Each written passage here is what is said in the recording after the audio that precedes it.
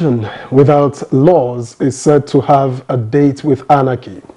Now, this explains why every government and institution across the world, democratic or otherwise, seems to be guided by certain laws. Ahead of the 2023 general elections in Nigeria, the Independent National Electoral Commission, INEC, has released a 106-point guideline for the conduct of the elections, with electronic transmission of results coming into effect, certainly one of the high points. Now, what else is in INEC's rulebook, and how might the guidelines influence outcome of the polls? We'll dig into this in a bit. Welcome to Nigeria Today. I am Victor Azu.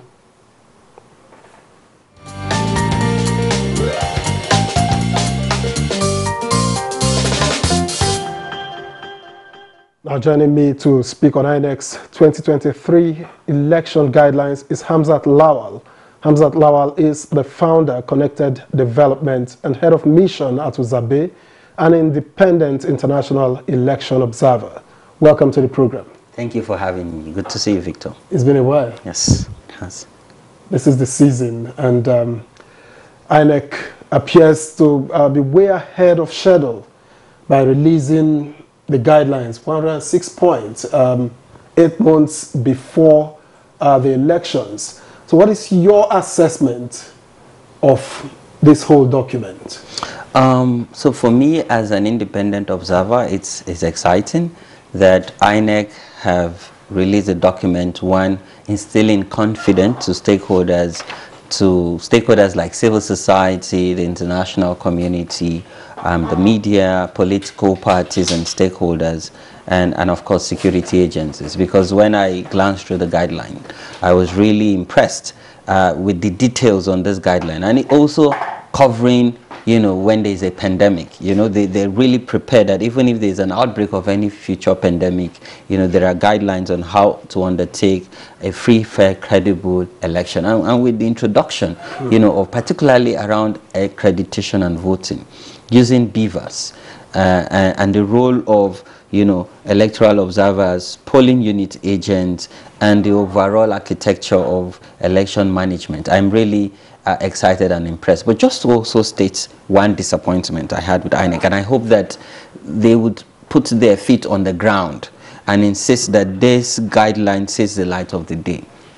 You know, we had a meeting with the INEC chairman okay. when he had provided a guideline for political parties' primaries. Mm. We know there was pressure and counter pressure, particularly from polit politicians and the political party, to extend the deadline uh, that INEC had put in place.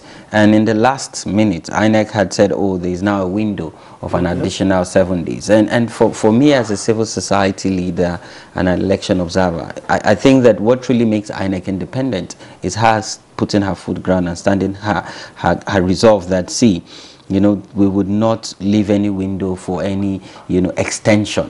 Because, you know, what, what the, the kind of signal By the way, he had said earlier that um, he had refused yes. extensions earlier, yes. saying that, um, you know, it could affect some other things. Some other plans. And then he backtracked and, and still left that window. Because the signal you're sending is that you know, if there's a lot of pressure, you can, shift you know, grounds shift ground and be manipulated. And that's not a good signal that gives confidence, mm. particularly to the electorate and to INEC's partner, because civil society have continued to provide that necessary support, sensitization and publicity of the good work INEC is doing. So for me, that's one of my biggest worry. So now we have a guideline uh, I believe stakeholders would also uh, understand or read this guideline, digest it, and populate it to their various followership, both political parties, civil society, engaging various stakeholders and the electorate on the ground, and then the security agency. Because see, I, I, I'm focused and I'm stressing security because without security, there will be no law and order without security, you know, violence might erupt. Without security, even INEC cannot undertake their constitutional mandate. So uh, security as we go into the 2023 election is really important. It is central to even we that were independent observer because I would have confidence to deploy over 10,000 foot soldiers if there's guarantee of life and property and safety. Mm So security is really important. And uh, yes, I commend INEC, but I'm also calling on, you know, the needed investment for the security architecture to allow for free, fair, credible, and transparent election. All right. Thank you for your opening shot. Um, timeliness is one thing. It's what we've talked about um, in part. How is this whole thing likely to impact conduct of the 2023 elections? I think when you look at time, um, as much as we would say, oh, we have about seven months into the election, but still, there is no time because now, as soon as all the political party finish their primaries and file their candidate, there's that window for campaign and you know campaign and outreach by politicians sharing their manifesto, their vision, and wooing electorates come the general election. So for me, uh, as much as there's a bit of time, but there's no time. I'm confident in INEC to deliver on her mandate, uh, but we must also understand and we must ensure that INEC is provided with the needed resources. Uh, because INEC, en INEC enjoys special budget. Uh, the chairman, whatever the chairman presents to the committee, it's important that this is approved by the National Assembly and Mr. President is able to approve these resources and make, make it available to INEC in good time. Because election management... But, but I'm not sure, I'm sorry to cut you there, but I'm not sure that the money has ever been a problem for well, money, money was a problem in the lead up to the 2019 general election. Have you forgotten that INEC did not get money in good time? You know, okay, uh, yes, good in good time. No, you see that's because you mentioned time. So you must provide INEC with financial resources in good time because mm. election management, uh, you know, costs a lot of money and need, resources has to be provided so they can mobilize resources because mm -hmm. human capital resources is needed. There's going to be training, you know, various arm of the election management system. INEC also needs to conduct a lot of outreaches. I, am happy that, you know, INEC chairman had done outreach, you know, to Ekiti in preparation of the forthcoming uh, Ekiti governorship election. He, you know, the chairman needs to also travel as we go into the 2023 election and, and, and deploy necessary resources, both technology, and now technology is playing a big role. Indeed. So what it means is the INEC chairman would also work with technology stakeholders, different um, uh, you know, service providers to ensure that we have one, the infrastructural investment, two, there is short of downtime because we, when electronically result will be transmitted in real time. So it means that we cannot afford to have a lot of downtime. So it means that the necessary infrastructure, uh, ISP has to mobilize the necessary infrastructure, build uh, the, the tools because there are going to be different systems and tools and then you have to train people to man them and, uh, and, and ensure that one you're able to brief security you're able to brief civil society you're able to brief political party you're able to also the media and also international observers. So as much as we think that we have enough time, there is not enough time. So, so uh, but I have confidence in INEC's mandate to deliver on her uh, constitutional uh, uh, uh, rules. Now, 106 sounds like um, a whole lot. But one point um, that is likely to attract the attention of watchers, like you have said earlier, is the use of technology. Now, the you know, uh, electronic transmission of results is mandatory as it is. The use of BVAS is mandatory. So is that the game changer as they say? Oh yes, it is a game changer. See, when you look at our election from 1999 to date, mm. every election cycle have been mad with judiciary's input and where elections have been upturned and where even people who were, were declared losers. Elections are now, you know, the, the tribunals and, and, and the judiciary have now made them winners or even cancelled elections. Mm. And this has cost INEC a lot of resources. This has also cost taxpayers a lot of resources because for every election cycle, you know, taxpayers' money are used. So technology is a game changer. One, it means that political party cannot muzzle their way into power. Even if you're a, a government in power. It means that you know technology will provide an equal playing ground for everyone. You can see before, during the 2015 and 2019 election, there was use of incident, you know, incident report. Yeah. You know, when the, the card readers are not working, then you fill incident form.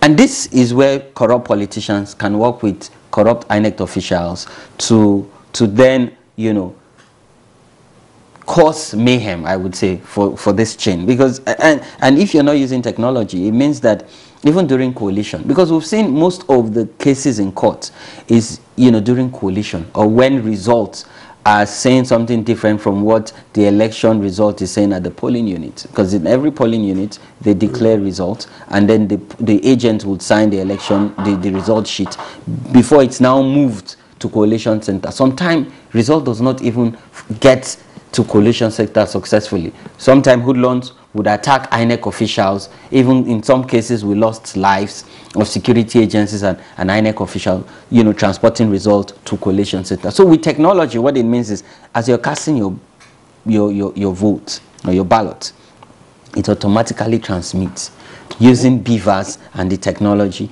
to the situation room in INEC.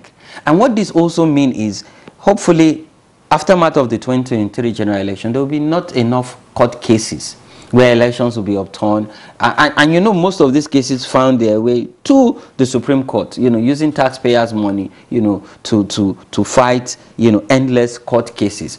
And, and lastly, they will be more confident, you know, to, I, I believe this would also help reduce voter appetite.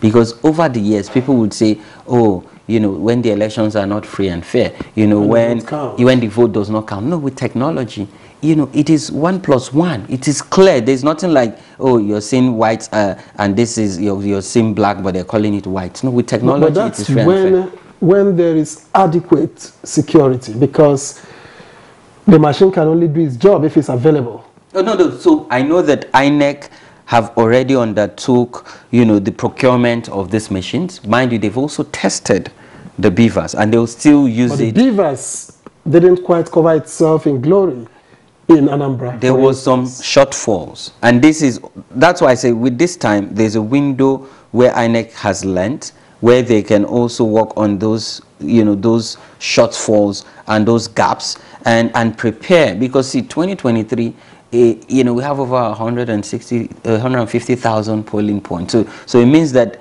INEC cannot afford to fail and they are taking steps and lessons and building more capacity, you know, working more on the system and upgrading the system, both the hardware and the software, to meet the test of time and to be that game changer that builds confidence of the electorate and ensure that we have a transparent system that would curb voter apathy. Now, what are the other high points of this document that you have identified?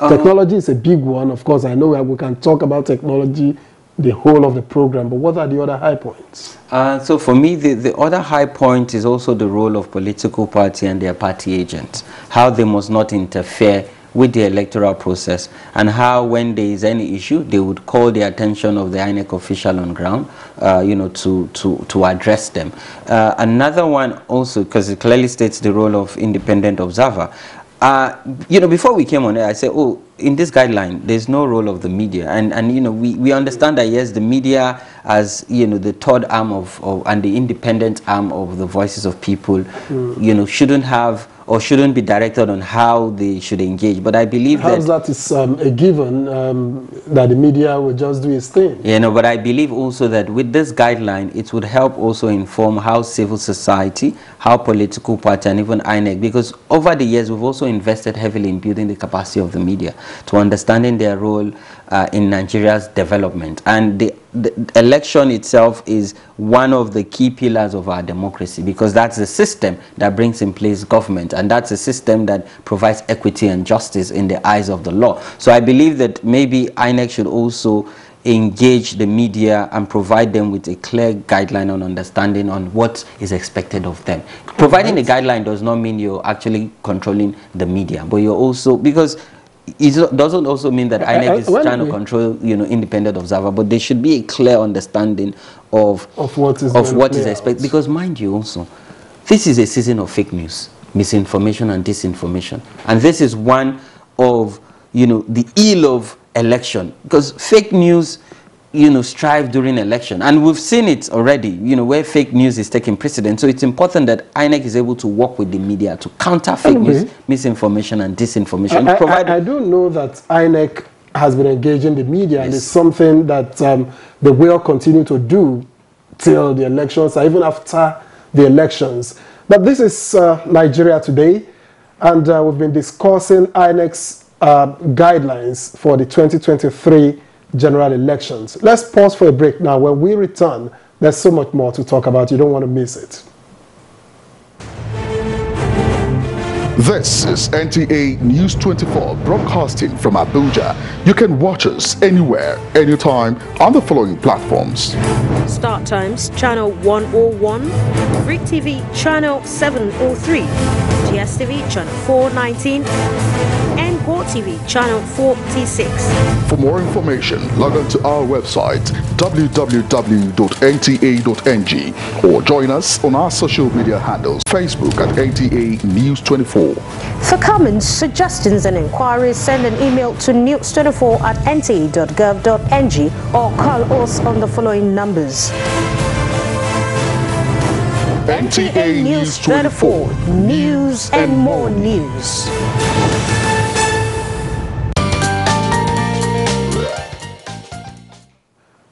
Right, uh, this is Nigeria Today, and uh, we have been discussing the 2023 guidelines just uh, released by INEC for the 2023 general elections, in case you've just joined us.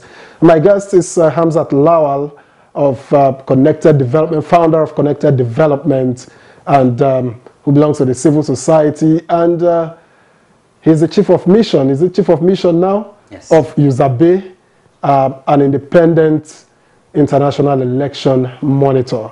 Hamzat, one of the other things I spotted in the guidelines is um, ban on the use of phones at the polling booths. What's your take on this? So this is a bit controversial in the sense that um, the use of phone is a fundamental right of every individual. Uh, and I can understand where INEC is coming from. And, and other analysts and my colleagues would argue that, you know, you subjecting someone not to use their phone is infringing on their right. But we also know that there is a pandemic we're dealing with, which is the issue of transaction during election, which is the issue of vote buying and vote selling. We've seen some cases where corrupt politicians would tell electorates, you know, to snap, you know, who they vote for and come and meet them in a corner and collect money and make, make it transactional. And I can understand why INEC is insisting in their guideline that there will be no use of mobile phone. And I want to use this opportunity to appeal to electorates and people who are watching that INEC saying do not use your phone for less than one minute.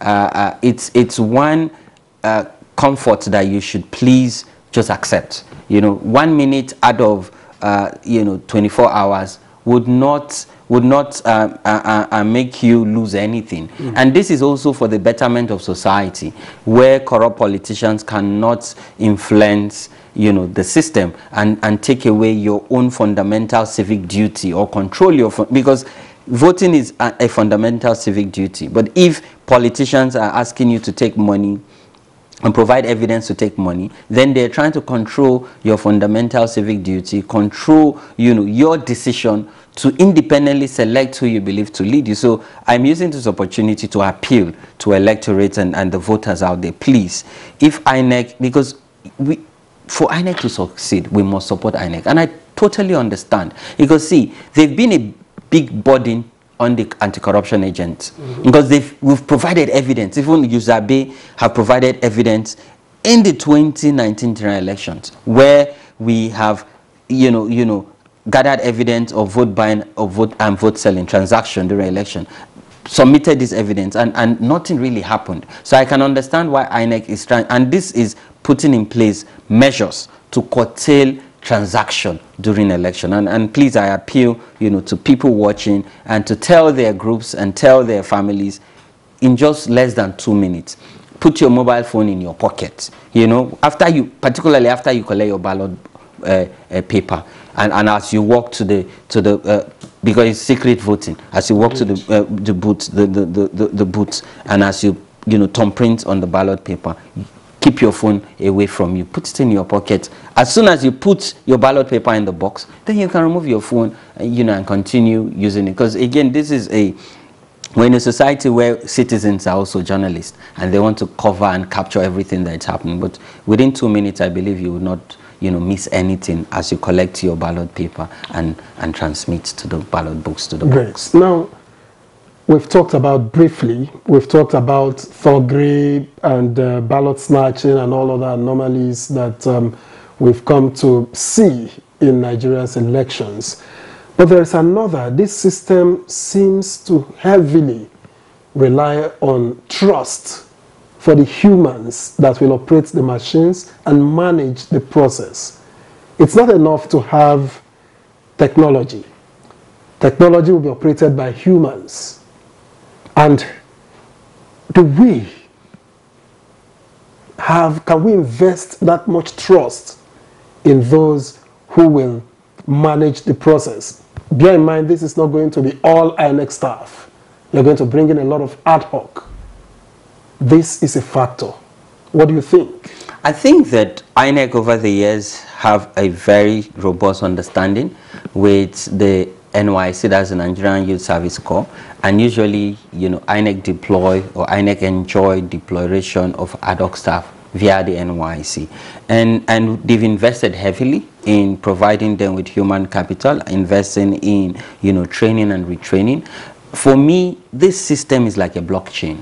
It's a system you cannot manipulate easily. It's a system that have very high level of security architecture where and and and and you know like you said you talked about you know ballot box snatching and, and attack you know you know hoodlums Attack attacking officials officials. this is technology. You know the you know yes uh, with computers there's antivirus there's malware uh, you know but but i believe that and i know perhaps. hacking. I, I believe you know and i know that this technology is also a blockchain technology hmm. where there will be less interference of any external party. And INEC has continued to provide you know updates to civil society and other stakeholders building our confidence and sharing with us what they're doing.